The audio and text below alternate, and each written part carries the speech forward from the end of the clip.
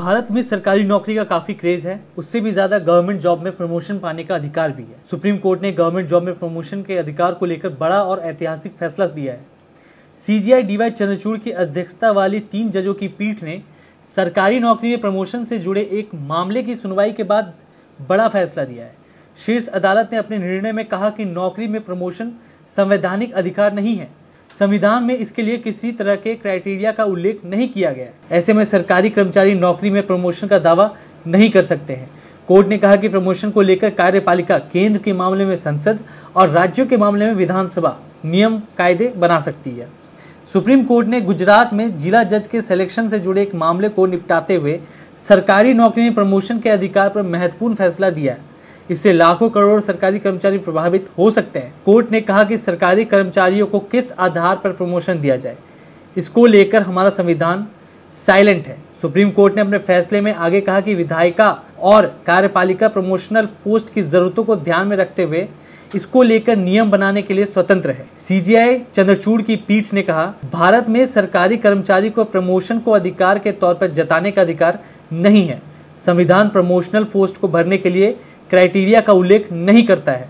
Supreme court ने अपने फैसले में साफ़ कर दिया कि नौकरी में प्रमोशन देने के लिए नियम, कायदे और कानून प्रावधान तय करने का काम विधायिका और कार्यपालिका यानी कि सरकार का है। सरकार को यह देखना है कि यह वह किसी सरकारी कर्मचारी से किस तरह का काम करवाना चाहती है, ताकि उसे प्रमोशन दिया जाए। साथ ही शीर्ष अदालत ने यह भी तय कर दिया कि जुडिशरी इस बात की समीक्षा नहीं करेगा कि प्रमोशन सिलेक्शन के लिए बनाई गई नीति पर्याप्त है या नहीं।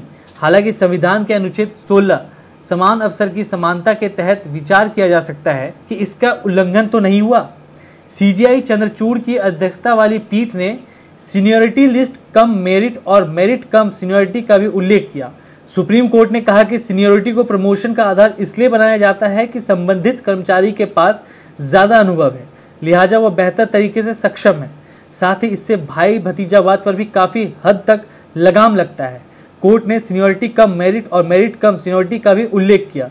सुप्रीम कोर्ट ने स्पष्ट किया कि यह केस को देखते हुए तय किया जाता है और पत्थर की लकीर नहीं है। चुनाव आयोग को ये देखना था कि सुप्रीम कोर्ट की छुट्टियाँ जब होती है वो तारीख मतलब सुप्रीम कोर्ट की सीजीआई का होना चुनाव के दौरान कितना ज़रूरी है? पहला सवाल ये।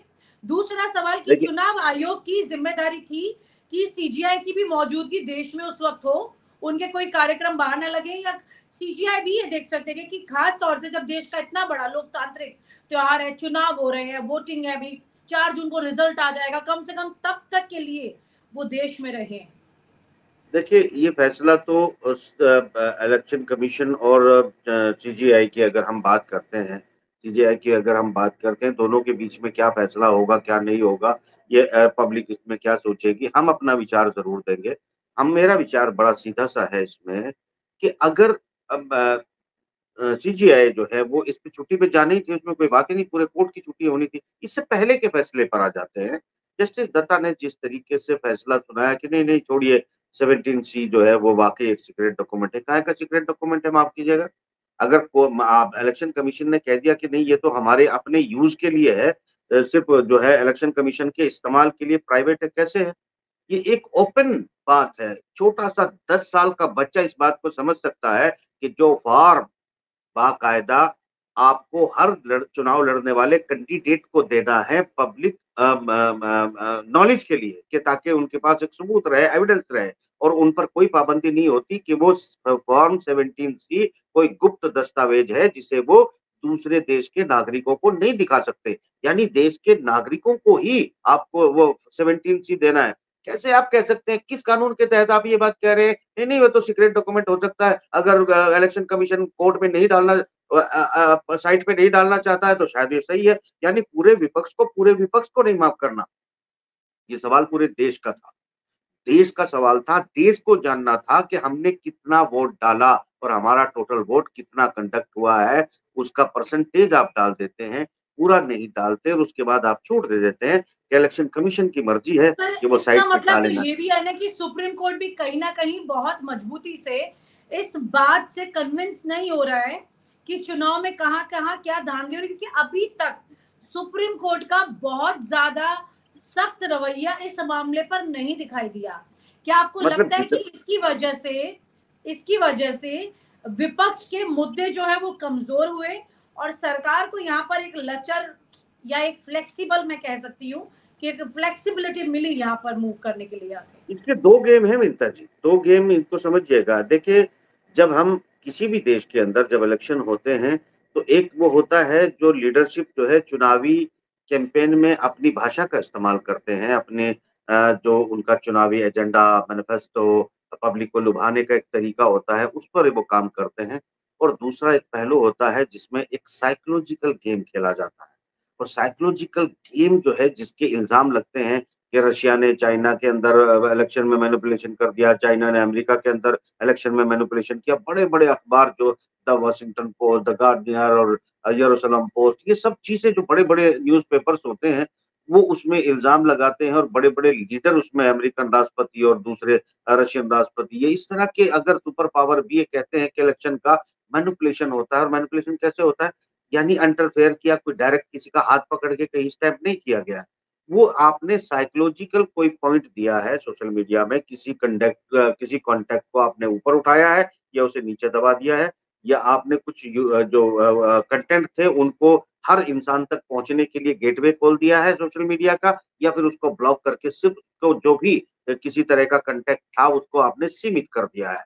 ये इसके, इस तरह के बहुत सारे गेम प्लान किए जाते हैं जिसमें आप जो विचार पब्लिक तक पहुँचने देना चाहते हैं, उसे पहुंचाते हैं, और जिस जो नहीं पहुँचने देना चाहते पब्लिक की तमाम कोशिश के बाद भी नहीं पहुँचने देते तो आपका विचार और वोट परसेंट उसमें आपका दो परसेंट तीन परसेंट अगर इन्फ्लुएंस कर जाता है तो दो या तीन परसेंट इन्फ्लुएंस करने का मतलब होता है विनीता जी, कई बार दो या तीन वोट प्रतिशत के फ्लक्चुएशन से सौ सौ सीट का फ़र्क पड़ जाता है। तो ये जो सूरत हाल है कि हम जिस पर हम बात करना चाहते हैं, वो ये है अगर कोर्ट ये, कोर्ट के फैसले, जब ईवीएम को आप बहाना बना सकते हैं कि भाई इलेक्शन दोबारा नहीं करवाए जा सकते, अगर ईवीएम पे हम हटा दें तो फिर प्रधानमंत्री की एक्सटेंशन बनेगी तो कैसे तैयारी होगी? बहुत सारे बहाने हो सकते हैं। मगर ये कोई बहाना नहीं है, जो डॉक्यूमेंट ऑलरेडी पब्लिक में था, वो पब्लिक को आप नहीं दे रहे हैं, नहीं दे रहे हैं का मतलब फैसला भी आप नहीं सुना रहे हैं कि आप पब्लिक के प्रति इलेक्शन कमीशन बहुत बड़ा जवाब दे। इलेक्शन कमीशन को ये ये पब्लिक में, देश की जनता में ये मैसेज देने की कोशिश कर रहे हैं कि इलेक्शन कमीशन बहुत ताकतवर है और कोर्ट उनके किसी भी फैसले को छेड़ना नहीं चाहता। इसका मतलब आपने एक बहुत बड़े वोट परसेंट को इन्फ्लुएंस किया है कि अब चुनाव के बाद अगर इलेक्शन कमीशन कुछ चाहता है यानी जैसे चारा के आएगा तो मोदी ही, यानी कोई भी वोट कहीं भी दे दो, आएगा तो मोदी ही। इस विचार को मज़बूत करने का काम किया है जेस्चरिंग की है पोस्चरिंग की है, बाकायदा और ये मैसेज करवे हुआ है। और इससे एक बड़ा वोट परसेंट जो है इन्फ्लुएंस हो रहा है, जिससे कोर्ट के इस फैसले से इन्फ्लुएंस वो हो रहा है कि उन, उस उस विचार को जो बाकायदा सोशल मीडिया पे हर जगह आपको दिखेगा कि आप वोट किसी को भी दे लो, आएगा तो मोदी ही। इस इन्फ्लुएंस को अगर आपने उठाया है तो ये चुनावी अंटरफेयर है। अगर इंटेलेक्चुअल तरीके से इसको देखा जाए तो आपने एक ऐसे विचार को सपोर्ट करके दो या तीन प्रतिशत वोट को इन्फ्लुएंस किया है तो इसको मैं इनडायरेक्टली सपोर्ट मानता हूँ और इस देश की जनता के साथ एक धोखा मानता हूँ।